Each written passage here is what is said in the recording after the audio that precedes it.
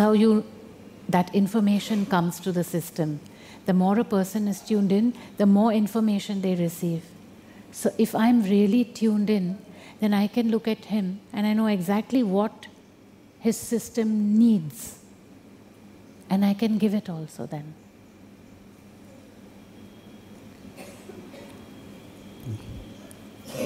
You understood, no? What I was saying?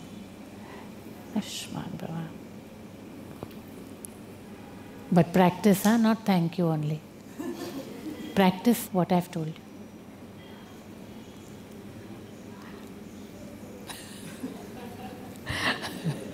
I know because he has a question which I don't really want to answer, but. but my mandate is to answer the question, so I'll do it. Namaskar. So, my question. Maybe it's another one. Is, yes. Uh, I'd like to have your response, your reflection on the life, the work, the realization, and the legacy of Osho. okay, so about his life, I mean, I can only speak from what I know. And uh, he was clearly enlightened, no question about it which is also very easy to see in his eyes. Enlightened meaning someone who has been in samadhi states, has been detached from the system in increasing states of dissolution of identity until the identity drops away. And then the regaining of identity until a re entry into the system happens. So that's what one can say about his life that he practiced, took up various practices that led him into a state of enlightenment. And that after his enlightenment, his reintegration into the system was partial he was never able to really sit back into the system like many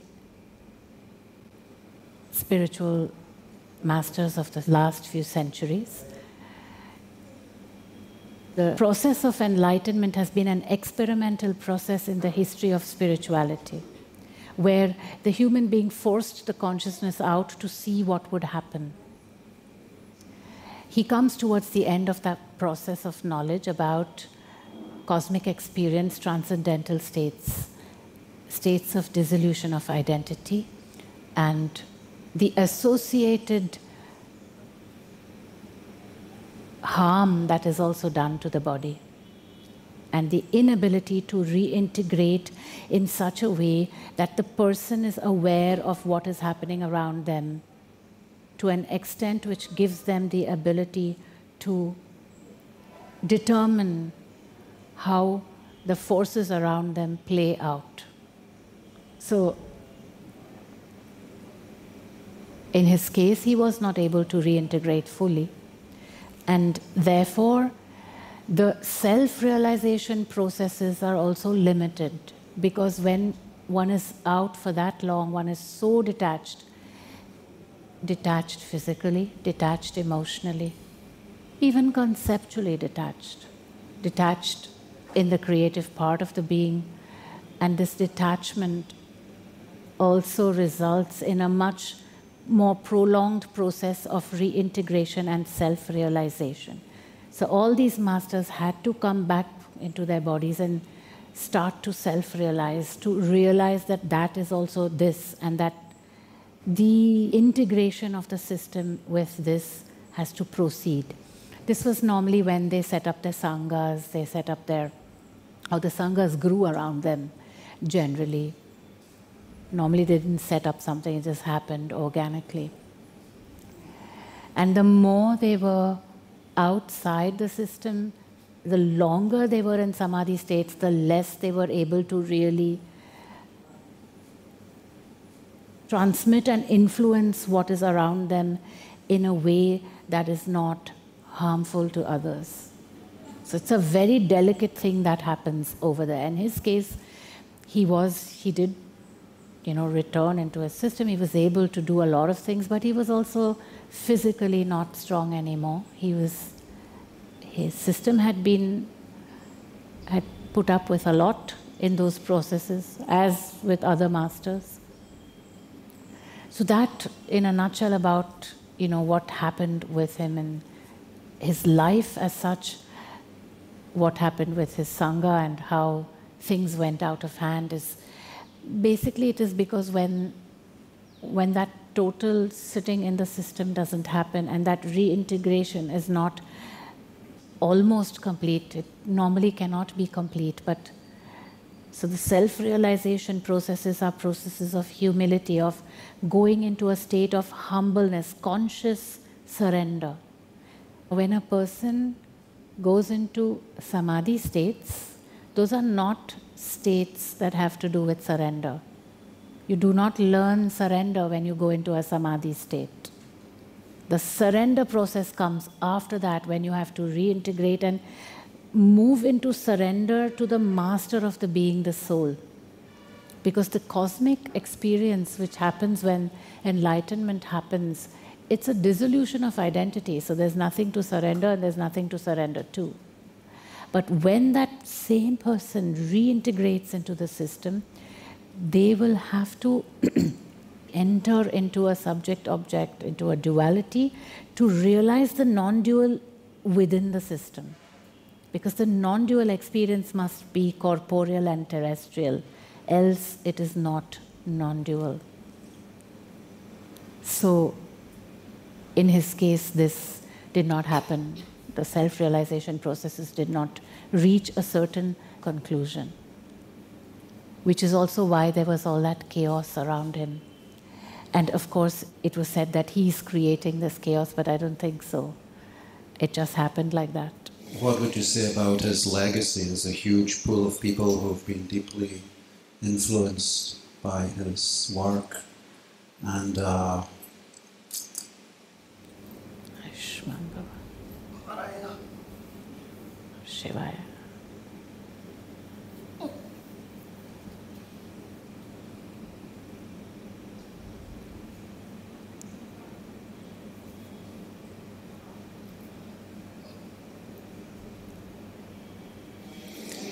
And it seems that perhaps more than most or any other master to date, he really uh, wanted to include the feminine and uh, bring this aspect of celebration and break down this uh, control or monasticism and all that.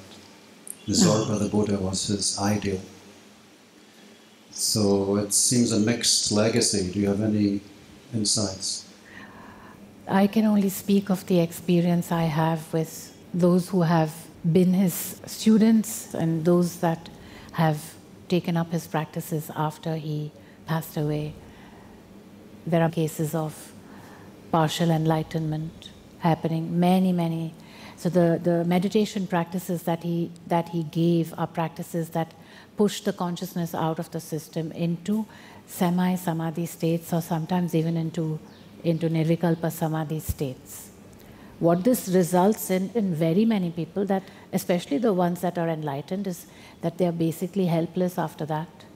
And they want to reintegrate into the system and actually always ask the question after enlightenment, what? They do have sanghas around them, but those who come to me, especially the ones who come privately, because as you know, I do give private meetings to gurus because I understand that, you know, it can be quite challenging. Um, what I have seen without exception is that there is a sense of not being in touch with the self, with the, with the actual center, the soul. And, and they've said it to me, enunciated it. I do know now, I am enlightened, but there is something beyond that which I, I know I have to reach. And it is this process of actually pulling down into the, into the self realization, which they have to do because they've taken up a, a practice which is taking them outside the system. These are all practices of the past. They will not hold in the future because they are detaching from life rather than embracing. They cause the system to detach. And detachment is not the key to living in this body, it is embracing which is the key. And embracing as an act of surrender to the soul, not detaching as an act of experiencing states of dissolution of identity. So it is a diametrically opposite movement which is already on its way and now part of the new trajectory. So while many of his practices do in the sense, loosen people up. I don't know how far that loosening up is necessary. Because if one has to stay in this system, it is a, it is a steadiness and a, and a coherence and presentness that is needed to actually be a servant, an instrument of the, of the guru within, the antar guru, to bend down to that. And it is very, very difficult to enter into those states of surrender if the system is most of the time outside or has been. For those that have experienced certain liberation, it may have brought them some freedom into the system. But what happens in the long run is that they realize that the freedom has to be experienced here and now with the eyes open, present. And that when that happens, one realizes that there is no such thing as freedom and liberation. There's nothing to be liberated from. So, in the long run, to take up those practices doesn't seem to bring that much. It does to a certain extent, maybe loosen up something, but if the chakras have to become more pliable and if that energy has to flow, one has to bend down. And bending down does not happen if your consciousness is out of the system. So it's a question mark, I mm. feel. I had uh, quite an intensive and extensive connection with an enlightened teacher. He was one of the extreme Osho sannyasis who went into the extreme hedonism, the sex, and the drugs. And after Osho's passing, he went extreme into meditation. I would say he had an extreme enlightenment. And then his experience was that like he lost the functioning of the system and he felt he was taken over by what for him was Ishvara, God. And the experience of being with him, he was extremely powerful energetically in the meditation and the awareness. But his behavior was somewhat uh, bizarre and out of, according to my feeling, out of whack, out of cruel, uh, using people, abusing people, uh, very crazy things with money. And in the end, he had a son, and it really softened him. And he became more normal, he started wearing normal clothes. And uh, he used to say that as far as awareness goes, he felt he had gone to the maximum. But what was what he noticed was the experience of love. But for him it was something that came and went, and it was kind of interesting, but not that important in a way. And awareness was the thing. Um, but on his deathbed, he died in 2012, and he had uh, a swelling of the lining of the heart, which went to multiple organ failure. He had some kind of epiphany, and he was crying and saying, "Now I know that love is love is what's important." Something like this. Well, this is exactly what I'm saying. When I say surrender to love, it's not just a pretty sentence on a on a poster, you know it is a very, very important and powerful and, and absolutely indispensable uh, posture to take.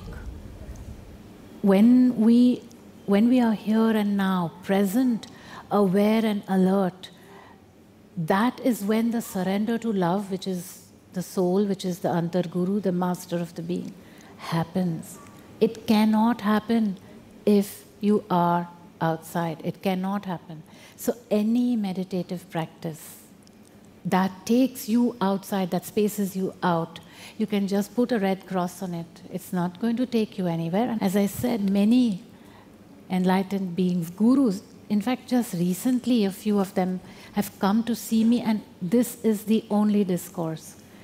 It is the spirituality of the future. It is not going to be going into deep meditative states, into dynamic meditation states, and leaving the system because that will not open the heart. Or I don't want to use open the heart because that's a misused phrase.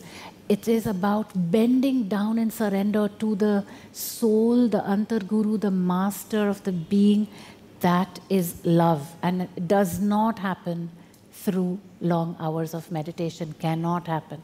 It happens through being present here and now and discerning in every moment between the impulse of soul and the voice of ego. So, all of these enlightened beings that have happened through the meditations of Osho, and I can tell you, Aishman Baba.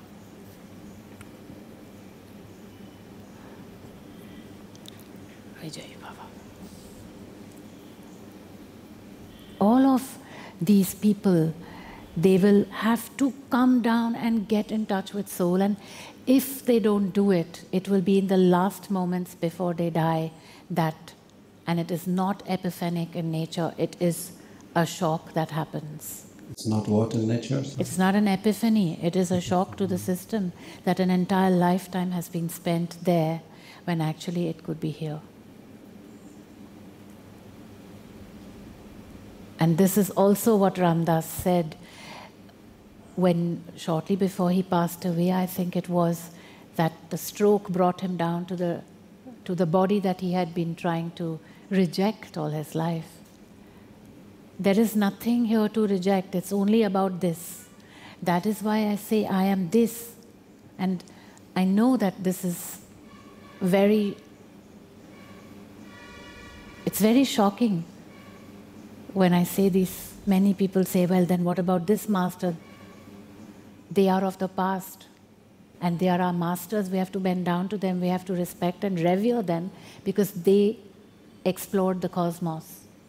But it is now time in the history of spirituality to explore the materiality of the system through the expansion of consciousness into each of the layers of consciousness through the processes of surrender to source, to surrender, surrender, surrender, surrender. There's nothing to look for there. It is not there. Once it is seen, this will come back to hound you if you leave. And that is what happened to him. And in fact, just in the last 10 days, I've had meetings with masters, enlightened masters, who have exactly asked this question. It was quite it was quite shocking actually. Having spent a lifetime and then damaging the body to the extent where that complete reintegration into the here and the now and into an absolute bending down is not possible because the conceptual, for example, is not capable of imagining it. So it's always better to stay, be here and now. And having said that, there's not that much more to say about Osho. These are all masters. They were exploring a space. Now they've come back with information. Now we know what to do with it.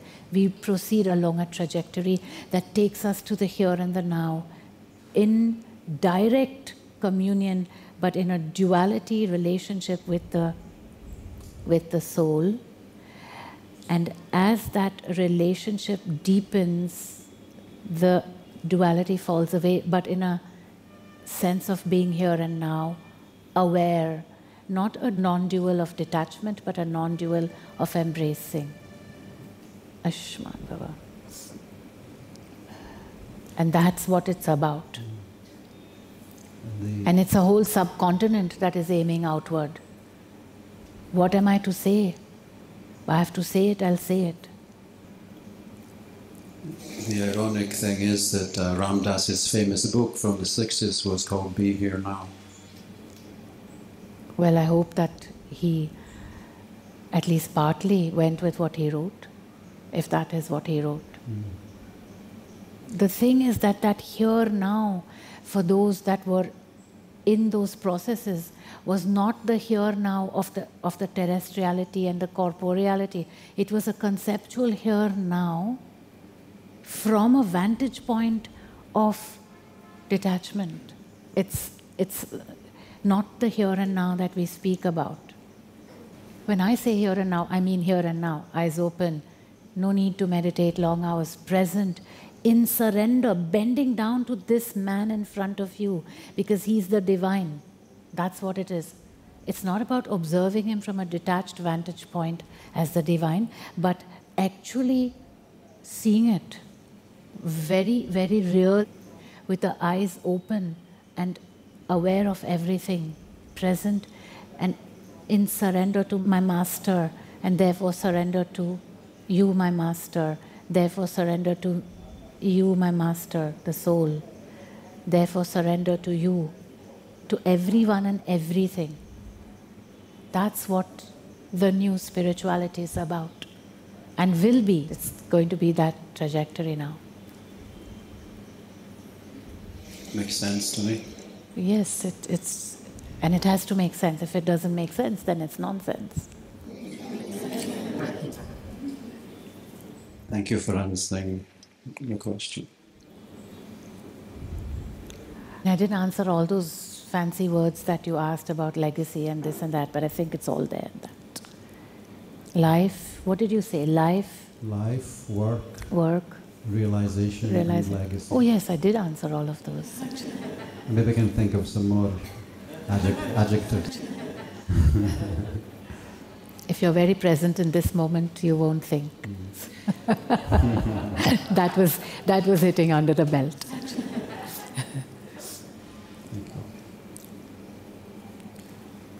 You can also ask anything else if you want, if there's time afterwards.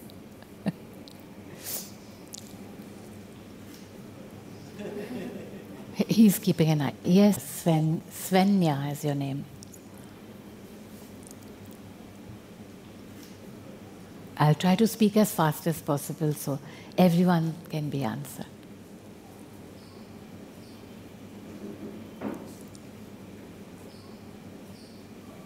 Namaskaram.